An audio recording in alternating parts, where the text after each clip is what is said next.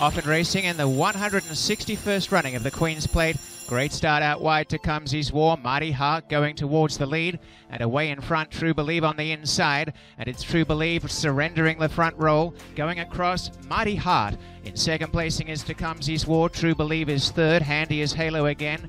A bit wider, Clayton. In between runners, Glorious Tribute as they go past the wire the first time. A length in behind them is Dotted Line. And on the outside, Curlin's Voyage about three or four wide. In behind runners early, Holyfield and Merveilleux coming up on the outside as they take the turn out the stretch. In behind them is Belichick, and on the inside towards the rear, Sweepin Hard. Second last at this point, FF Rocket got back, and last is Olliemyboy, showing the way. And the Queen's Plate is Mighty Heart, leads into the back stretch by a length to Tecumseh's War, a half to Truebelieve, a length and a half. Clayton now settles beautifully in fourth. One away, Glorious Tribute on the inside of dotted line. Curlin's Voyage is mid-pack. She's about six or seven lengths off this leader, and Merveilleux's run up in front of her, and she's making good ground on the inside. Halo again's dropped a fair way back with Belichick, the centre, improving well. And then came FF Rocket, Olliemyboy, off the track, starting a run. Holyfield is back last with Sweepin Hard as they race three quarters in 112 and 3 and the Queen's Plate a mighty heart continues to lead the charge. A length and a quarter to Tecumseh's War. Here comes Curlin's Voyage. She's off and running. Clayton's in the center and they range up now to Tecumseh's War. Goes to the front with Clayton who took over narrowly. On the outside Curlin's Voyage. It's Mighty Heart kicking right back. Mighty Heart still in front. Clayton in second. Running on his dotted line in behind the top four as they corner but it's Mighty Heart in front. The one to catch in the Queen's Plate chased by Clayton. Then Tecumseh's War, and behind them Curlin's Voyage, but Mighty Heart is long gone. Mighty Heart has got the Queen's Plate completely wrapped up, and this is a dominant performance. Daisuke Fukumoto, Mighty Heart, full of heart, by eight lengths. Belichick second, Clayton third, Tecumseh's War fourth, and Curlin's Voyage was fifth.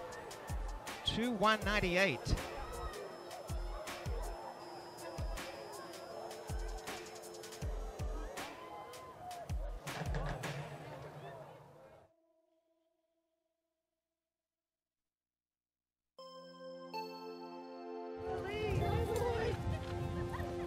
Is going to go real quick. Okay, here we go, here we go, here we go. The result is now Jock, official. Jock, Jock.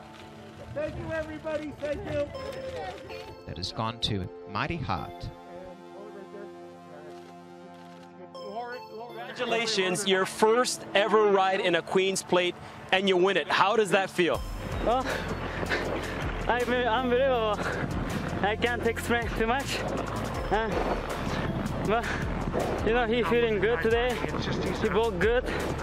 Then, you know, no, I, I seen the looks nobody go front, so you know, I just sent him. Then he just kept going.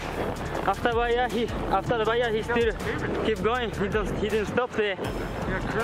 Rob had to come and uh, grab you. You know, the fractions were very fast. Did you realize just how quick you were going? Yeah, he was too sharp today. Yeah, I thought I thought fast, but uh, you know, I took risk, so you know, I can't do anything. You know, just uh, I I let him go. He's a one, one, only one eye, but uh, you know, he's a he's so like a, like big heart. You know, he's a mighty heart. You know. Well, you know what? Congratulations. You are a perfect three for three now, riding with Josie Carroll. That's great stuff.